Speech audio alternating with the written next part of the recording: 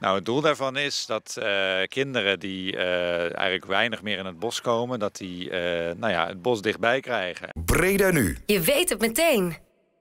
In de wijk Brabant Park werd op 19 maart een zogeheten Tiny Forest geopend door wethouder Paul de Beer in samenwerking met IVN. Een tiny forest is een uh, klein stukje uh, minibos midden in uh, een woonwijk. Waar we eigenlijk de bewoners en ook kinderen laten zien hoe de natuur werkt. Dus eigenlijk een klein stukje wilde natuur midden in een woonwijk.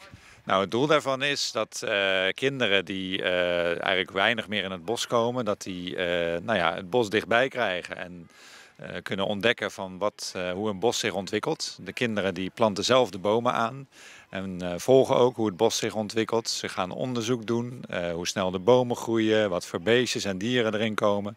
Dus ze leren van alles van, eigenlijk van hoe, een bos, hoe een bos werkt. nou ja, we staan hier bij het eerste Tiny Forest van Breda. Zijn er meer van dit soort projecten in Breda gaande? Ja, er zijn een heleboel projecten als het gaat om biodiversiteit en om de natuur weer terug te brengen in de stad. Van de Tiny Forests is dit de eerste hier in Brabant Park. En er volgen er nog drie. We starten met vier Tiny Forests. En als ik nu kijk hoe gaaf het eruit ziet en hoeveel enthousiasme het in de wijk Brabant Park losmaakt, ja, dan denk ik dat we er misschien nog wel meer gaan doen. Ja.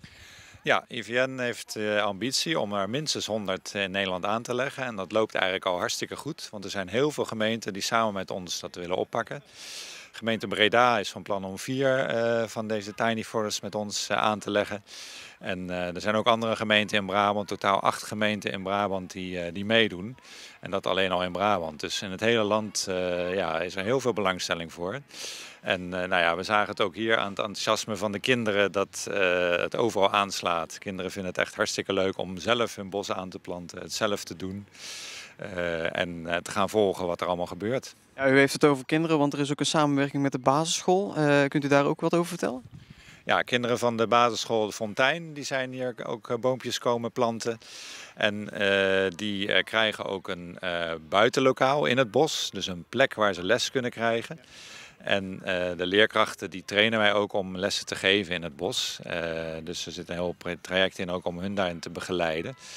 Uh, ja, dat maakt alleen maar dat ze, uh, zou ik maar zeggen, ook nog het bos als een, als een uh, leerplek ervaren. En ja, dat juichen we als IVN alleen maar toe. Ja, de, de, de samenwerking is eigenlijk heel breed. Uh, Suplu die werkt ook samen met dit project IVN, hè, dus een natuurvereniging. de school doet dat ook, maar ook de omwonenden. En er wordt met buurtkoks en, en allerlei biodiversiteitsprojecten hier gewerkt. Uh, proberen ook weer een moestuin hier te brengen. Uh, dus de, de, de samenwerking is uh, heel breed en allemaal met het doel om mensen weer ja, wat vaker in aanraking met natuur te krijgen. Breda nu. Je weet het meteen.